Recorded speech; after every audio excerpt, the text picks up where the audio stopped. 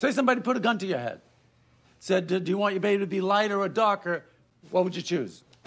Why is someone holding a gun to my head It's and a asking hypothetical. me what Hypothetical. shade I would prefer my son to be? I don't know. So Why is he, putting a gun to her head? he wants to he wants to find out what, what your preference is. So you're walking down the street with Will, and he snatches you into the back seat of the car, and now he's got a gun to your head. You want a lighter or a darker baby? What shade? What shade? Get away from me. What color is the guy holding the gun? He's mocha, right down the middle. Right down the middle. 50-50.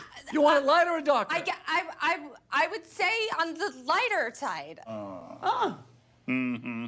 See, so you have a preference. I, but I had a gun to my head. You didn't have a gun to your head. We're sitting in the nice living room. We're getting ginger ales. I'm proud to be black. I think you'd be proud to be black Oh, too. of course. Okay, I'm sorry. I don't feel. I I'm don't, not wrong. I don't feel good. Okay. Okay, I'm- I'm so sorry. I'm sorry. Thank you. Thank you so Okay. much. Nice to meet you.